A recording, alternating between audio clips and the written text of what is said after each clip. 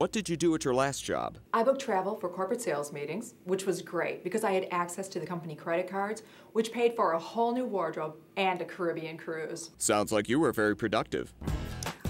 Bad hires are never that easy to spot unless you're the KPM Group, the only staffing firm that does complete background, skills, and character assessments for every job applicant. The KPM Group, we take the risk so you don't. Did you do anything else at the company?